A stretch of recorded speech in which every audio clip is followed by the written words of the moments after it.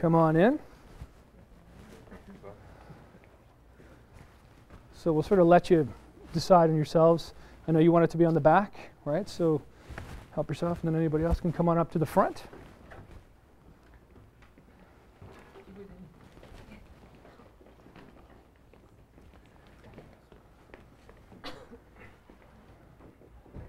Is everybody comfortable? Do you want to edge slightly apart, or is that you're you're good?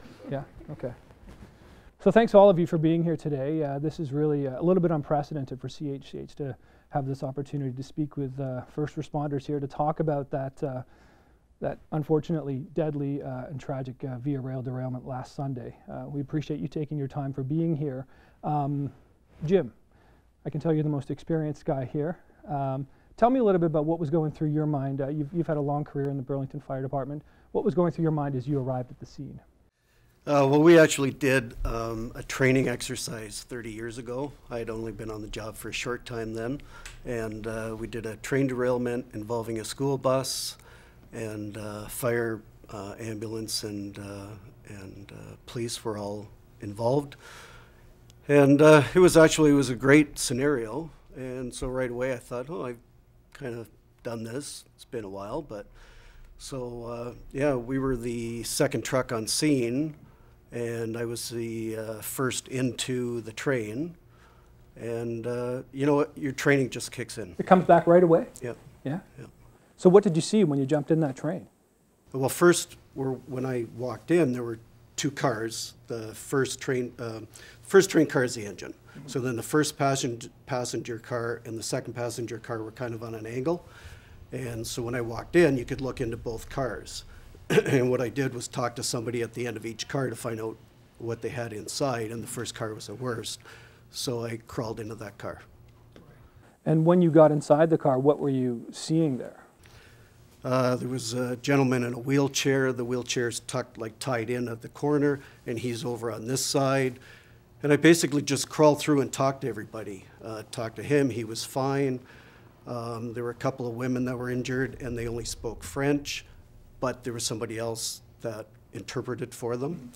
Uh, went further, there was a family of three. The 10 year old girl had a broken arm.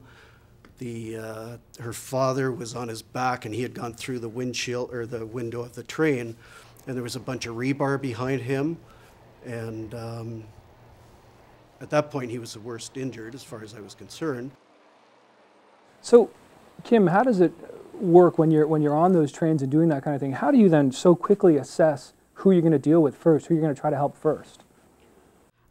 I think you just take one patient at a time. And uh, I know when they were coming out of the trains, the EMS were using their triage system. Before you even get to that point, though, it's just you know a, a quick assessment of you know, their level of consciousness. Are they able to speak with you? Can they answer some simple questions? And can they tell you what their injuries are? Quite often when there's other people injured, they'll, you know, they could point out someone else, which would let you know that someone else is more injured than they are. Right, right, okay. So you sort of have to use their, use their words in a sense, or at least their actions or capabilities. So you're triaging back there, Colin, and, and you're seeing these people come off the train. What's going through your mind? I mean, have you ever attended a scene like this? Uh, no, this is the first uh, major incident for me in my career. And um, I mean, you just you have to start filtering through the people. Uh, generally, the ones that can come right to you um, are probably not the most injured.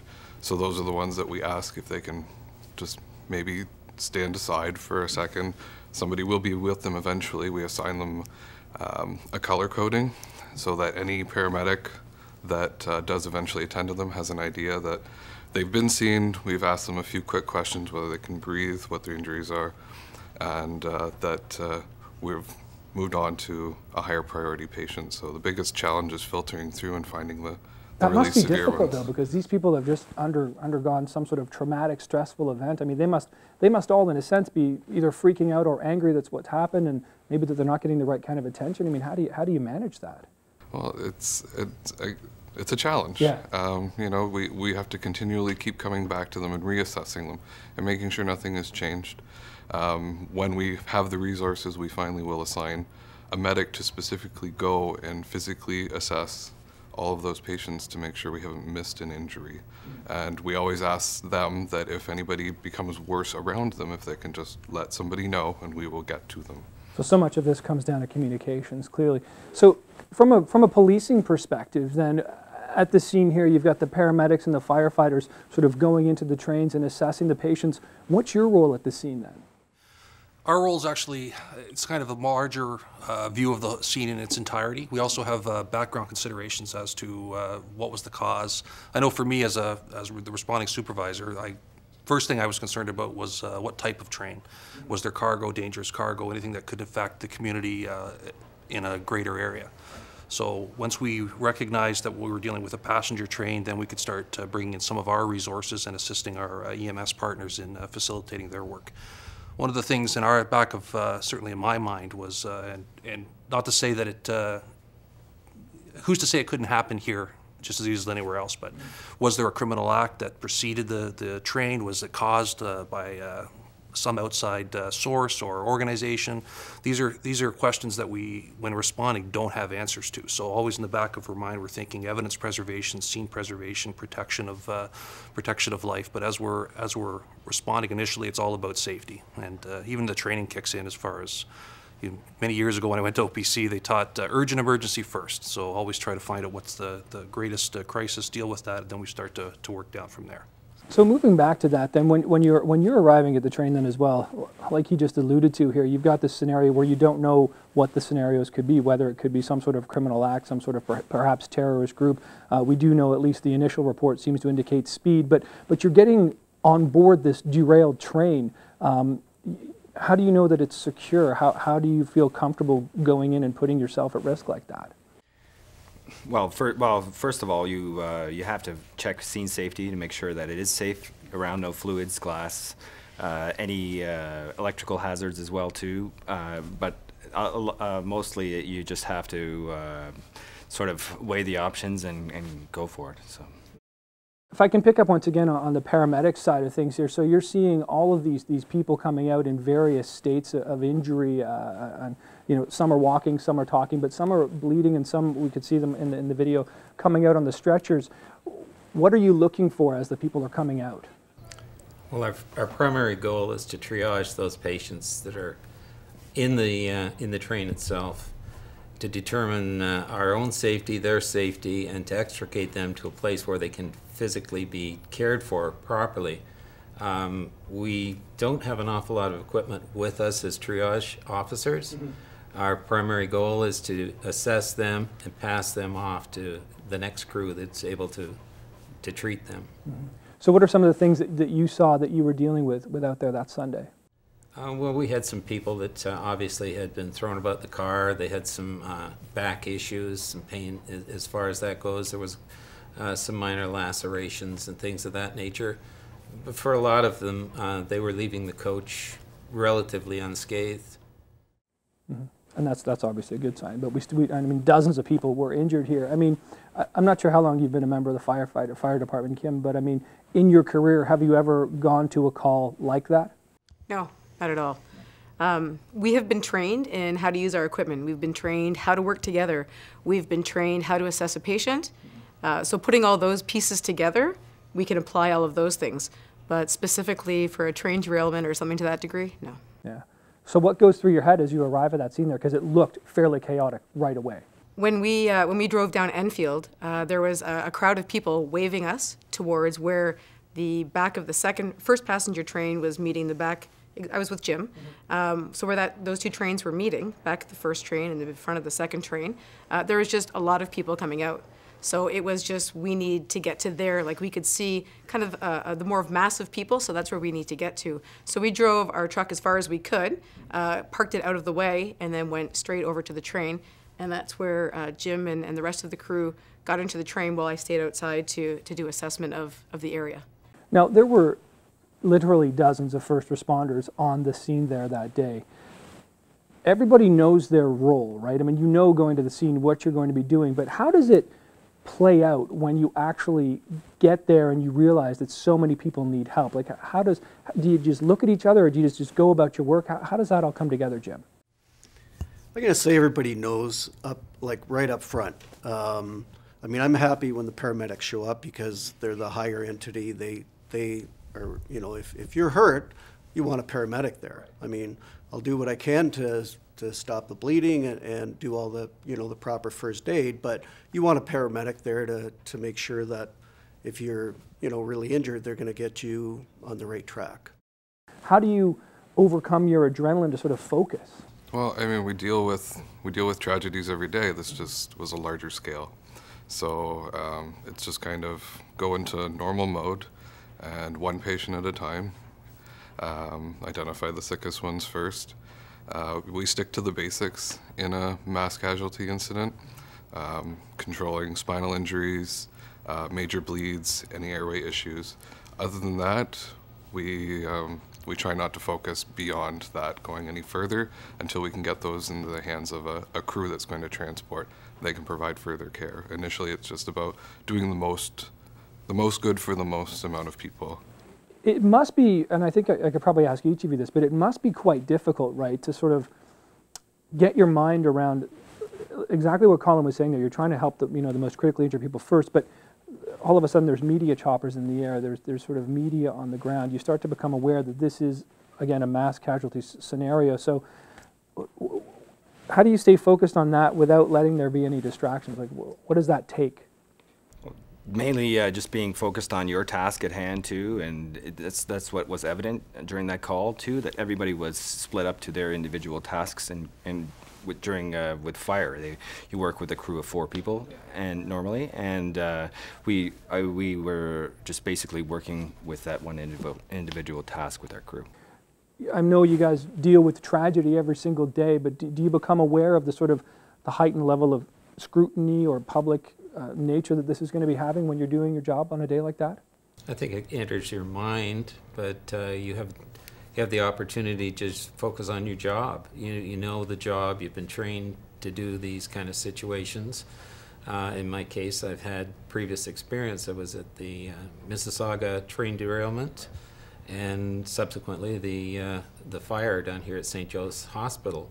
So we learned from each of those experiences, and we're able to put that into work, you know, in future events. So, yeah, the other day it was just a question of you look, you see, and then you act. And that, that's how, how it has to be, really, right? Is there a, a lesson that, that you'll take from the fire department side of things? Like, will, will you, what could you learn from, from what happened that day? We actually lucked out because when we went into the train, the people in, in the train, nobody was panicking. The people that were, were not injured were helping the ones that were. So it was like, I know three people lost their lives.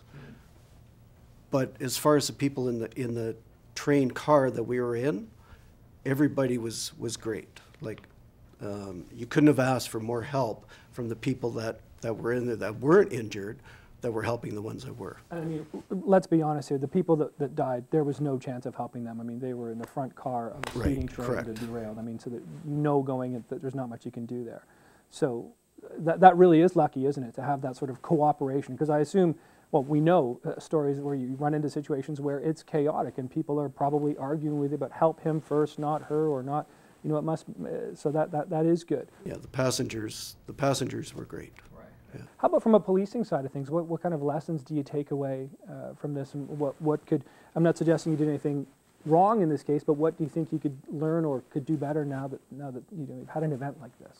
Well, I think in any major incident, uh, debriefing it, there's always finer points that we can improve on. But uh, I, I can honestly say, as a as a first responder there, I was very proud of our people. They uh, made my job so much easier. Everyone knew their role. Everyone worked together with everyone. There was no conflict. They only had a job to do, and they went out and did it. I can say that uh, as far as uh, from the Halton Police perspective, we're very pleased with the, the response of our of our folks that at that scene. Very chaotic scene. Not something I expect to see again, although it is possible. But uh, I think that, I think they did a great job. I was very very pleased with with our folks. And how about from a paramedic side of things too, Colin? Because obviously I think it's clear everyone's taking a lesson away from, from what happened. Well, I think we just learn from the experiences themselves, right? I mean, you know, this is something that's basically a hopefully once in a, a career call.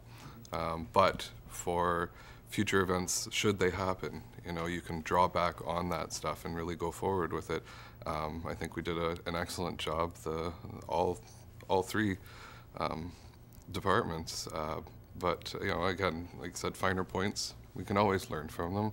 Um, but um, as my understanding, we had all patients off to hospitals within 90 minutes, and that's exceptional for that size of an incident. So I think uh, from an EMS standpoint, we, we felt we did a really well, really good job as well. And that, that fact alone, that everyone was off and, and to a hospital within 90 minutes, that seems to speak to the level of cooperation just amongst everybody, right? I mean, you couldn't have done that just as paramedics or just as fire or just as police, right? It was a, you all had to be collectively involved in that, right? Especially, uh, I'm not sure if it was Bob or Colin mentioned how many people we put on backboards to get out. And it was, I mean, we all had to help lift that, and, I mean, it was awkward in the cat, in the uh, car, because it was on a funny angle. So everybody had to chip in and, and pass that backboard through the train, and, and that was over and over as we got guys on backboards and, and ladies, and so, yeah, so it worked well. Were you switching people in and out much? Because 90 minutes is a long time to be in an awkwardly positioned train car. I mean, no. You were in there for 90 minutes, Right. perhaps longer even. Right. When you're seeing all of this happening, and, and you're like, where was your checkpoint specifically where you, where you were standing? Uh, the second car behind the engine was on an extraordinary angle from where I was standing. It was kind of, it was tilted up, so you could look through the opening where it had broken from the third car and see into, into the passenger area. Um, so I was down with, there was a fire, paramedic, and three police officers assisting with getting the backboards and the people. So all the assessment was going on inside and there was an off I remember looking up and seeing an officer standing on the arms of the chairs of the seats kind of crawling down and assisting inside and just for a minute thought isn't that extraordinary I'm going to ask each of this, this question. Do you have one memory that sticks out uh, from that day, like a moment or, or, or an event uh, that was a sub part of that day? There's quite a few actually, yeah. So it's uh, it's quite an experience. It's hard to just say one memory. Like it's uh, really good experience for me. It's tragic for the people that that, that lost their lives, but uh, um, Is it hard to go back and think about now? um, no, because I think it's a positive thing because we did help a lot of people. So that's what I'm taking from it. How about you, Jim? Nothing really stands out other than the fact that the passengers were like chipped in and, and helped and, and how smooth it ran. And Kim? The one picture I have is when um, the patients were coming out of the trail car. I think you were saying there was just a, a, row of, um, you know, there was firefighters, paramedics, police officers. There was just a row of people helping them get it because the, the footing wasn't even. So just a row of people helping, you know, people get to where they needed to be with the ambulance. And that row, everybody was helping. Nobody, you know, even if we had to pass a jacket to some people as they were getting off the, the train, they were really concerned about their jacket or they're concerned about their knapsack. So really trying to make sure those things followed that person to where the, the ground was flat. Um, so just, you know, how everyone was treated as a person coming out and making sure they had their valuables and seeing how everybody worked together to get them to that safe spot. Right. Colin, how about you? Um, I'd say probably those initial moments when you first got there, when we were parking our ambulance and we had a large crowd of people just walking towards us because you know it's they see an ambulance, they see help us here, and just kind of take a breath and go into doing your job and you know and that's it. You know, just you know you're not going to see that kind of thing happen. ho- Hopefully, Too much. again. Yeah, yeah, so- exactly. How about you? I'll be honest and say that initially we had one call above a train or derailment, so you're not you're not 100% sure that that's actually what has occurred until while responding on a route you hear now we're starting to receive more calls and then it starts to become real as a as a responder. So in uh, in your head is going through countless checklists of different scenarios that could occur. But I remember specifically uh, coming down from the 407. I came from the north end of Burlington. And as I crossed over the 407, I was able to see down the tracks, and I saw, and I still see it as a, a snapshot in my mind of the of the train and its uh, in its uh, wrecked position, and uh, thinking, wow, there's uh, there's going to be a lot of work to do here. How about you, Bob? I think uh, I have to go back to uh, somebody mentioned the, the gentleman in the wheelchair. He was uninjured, but he presented a little bit of a difficulty in that he was unable to extricate himself. Um, his wheelchair was is still strapped in its position on the on the train, which was now in the um, hanging from the uh, almost the ceiling. Uh, we had to had that disassembled, reassembled outside the train, and we had to um, manage to get him out. We used uh, one of the fire department baskets to get him to crawl into it and then pass him out. Now, that was a situation where there was no injury, but it was stage one in accessing and getting the other people off the train safely. And it was a, it was just a success story because he was reunited with his wheelchair and with all his belongings, and he got off there with no, no injuries. Yeah, that, that's definitely a high point there. You get the last shot at this one. I think it was just the overall bravery of, of the people inside who were not knowing how injured they were and and having to you know come out into the arms of people who were you know saying trust me here I'll hold on to you while we crawl over this or do this and they were hurt. Um, just overall cohesion with the disciplines there wasn't a lot of talking between us but boy did things get done quickly when we worked together I found that uh, I'm 15 year veteran and I, I really felt very proud that that's how it pans out when we all react that way. First time for me in my career for sure, and to see my platoon and the other disciplines work that way without much said is pretty profound. Yeah, I get the sense that a lot of you uh, have that pride, but also that feeling that the, that the teamwork, uh, uh, among interdepartmental teamwork as well, of course, with your own crews, really paid off, and, and the communication, the coordination, the training really did did work out this time, didn't it? If, if there's any sort of final thoughts from anybody, I, I'd love to hear anything. Or go ahead. I'd like, I'd like just mention the community support that was at the scene. Like, there was countless uh, citizens coming up offering their assistance. We had a doctor come up and offer. I know the, uh, at the end of Plains Road, there was a McDonald's restaurant. They brought food for all the people that came off the train. A couple of trips, just the community support that rallied, even as the, uh, as the event was unfolding, was, it was tremendous. Yeah, more than just uh, police, fire, and ambulance, of course. Yeah, that's great. I want to thank you all really for being here today. Uh, it certainly was uh, uh, something to pull together. I know you all have very busy schedules and uh, have very busy jobs. But we really appreciate you coming in here and speaking to us today. And uh, thanks for the work you did on Sunday and, of course, every every other day. Thank you so much. Thanks, Nick. Thank you.